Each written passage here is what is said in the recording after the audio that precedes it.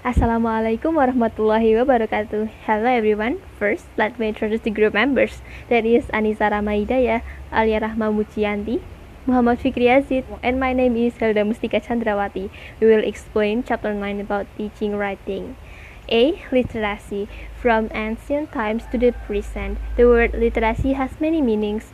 For example, in the Christian world of the Middle Ages, Sacred texts were only written in Latin and were only available to people with prestige and therefore a prestigious kind of literacy in foreign language. Teaching we need to decide what kind of writing we expect from students and what kind of literacies we are asking from them. This is important when students are studying English for academic purposes. The actual discipline and the level they are studying for will determine how literate they should be. Aspects of literacy A1 Handwriting Handwriting is a personal issue. Students should not all be expected to use exactly the same style despite copying exercises. Nevertheless, badly formed letters may influence the reader against the writer, something which is undesirable whether the work is product of some creative text or more seriously work that is going to be assessed in a test or exam. A. 2. Spelling. All too often, but spelling is perceived as a lack of education or care. One of the reasons that spelling is difficult for students of English is that the correspondence between the sound of a word and the way it is spelled is not always obvious. And issues that make spelling difficult for for some students is the fact that not all varieties of English spell the same words in the same way. One of the best ways to help students improve their spelling is through reading, especially extensively. We can also draw their attention to spelling problems and explain why they occur. Copying from written models is one way to do this. When students see and reflect on their copying mistakes, their spelling consciousness is raised. A3 Layout and punctuation. Such differences are easily seen in the different punctuation conventions for the quotation of direct speech which different languages use, or way in which many writers use commas instead of or as much as full stops. Although comma overuse is frowned on by many English language writers and editors.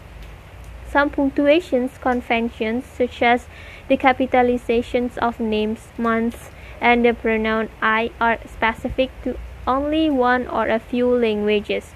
Thus, punctuation is frequently a matter of personal style.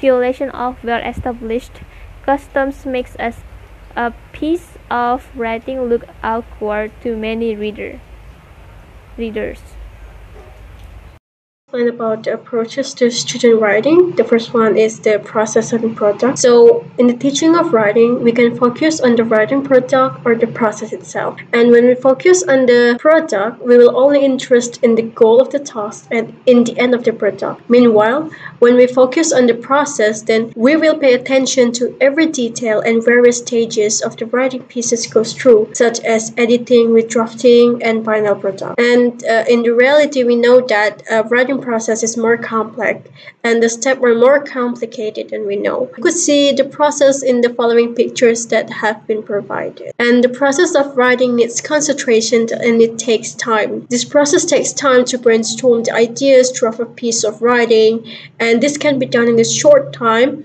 and may be difficult for students due to class time limitation. The next one is genre, which when the teachers concentrate on the genre, the student will study the text that, which they are going to be writing before they start their own work. For example, when the teacher asks the student to write about the business letter, then the student will search info about the business letter. They will learn about their structures, their specific language used in the letters. And the students who are writing with a certain genre need to know about the different factors. They need to know about the topic, the conventions, the styles, the content, and the reader as well. The next one is a creative writing. Use uh, imagination to produce it. And for example, when the teacher set up imaginative writing tasks and asked the student to write a simple poem, narrative, or recount text. The project pride and the student may feel this uh, when they have written creatively. And as a teacher, we need to provide appropriate reader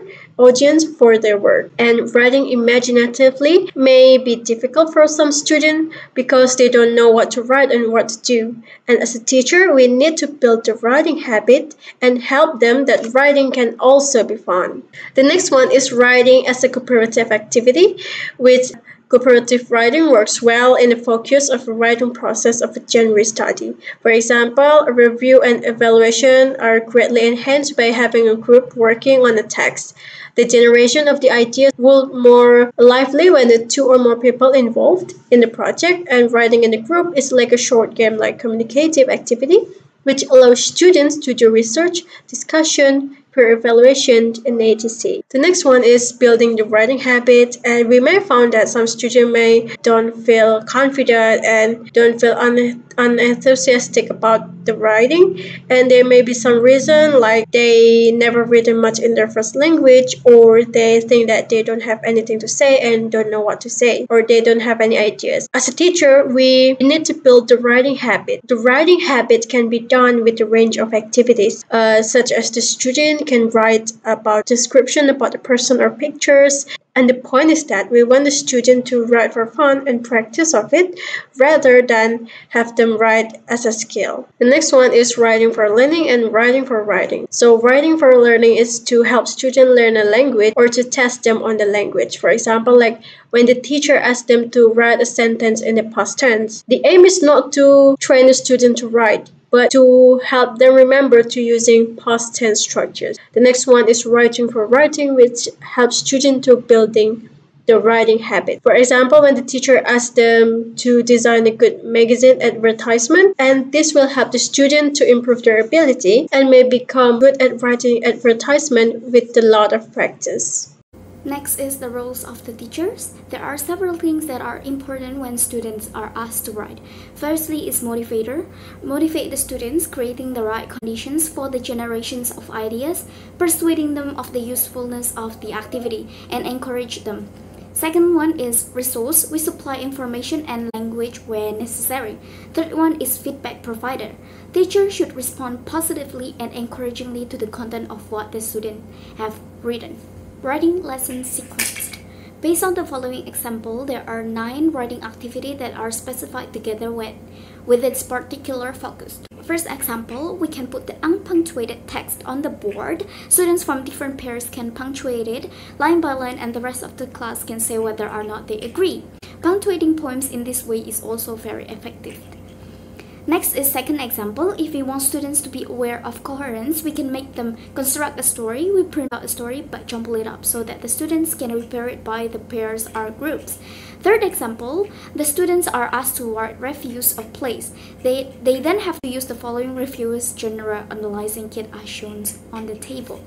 So next is for example, students are told to write a letter to someone they would never normally write to. Their colleagues have to be able to say who the letter is to and what point is trying to make.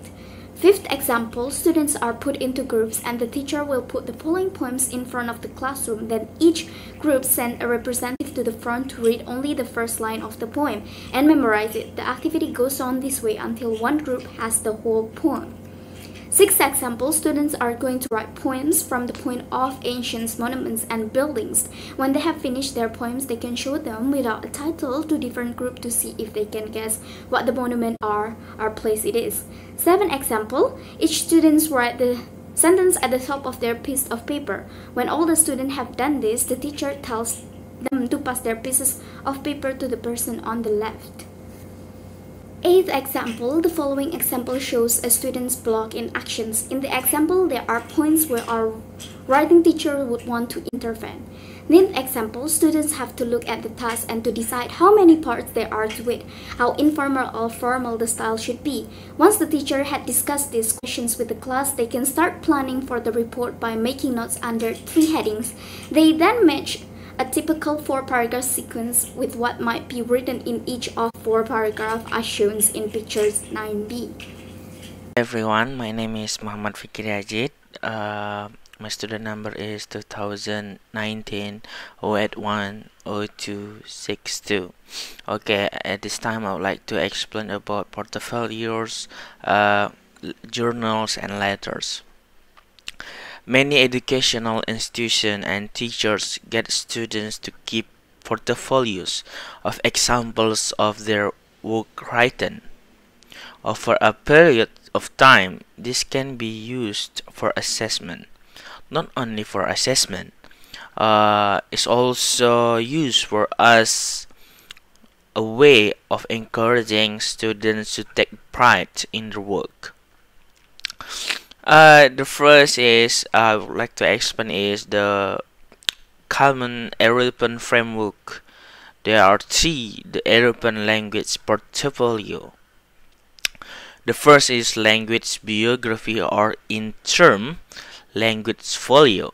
It's like a few paragraphs. Here the student reflect language skill. It is uh, in language biographies that abilities such as vocabulary, the way they learn, and the learning objectivity set are measured. Language biography asks them to say what language experience they have had and evaluate the, their learning goals and reflect on language learning. It's like reflection which we do in the last of semester, but in the case, the thing which has to be explained is about language biography which uh, have. And the second is language passport. This is the public version of of the biography.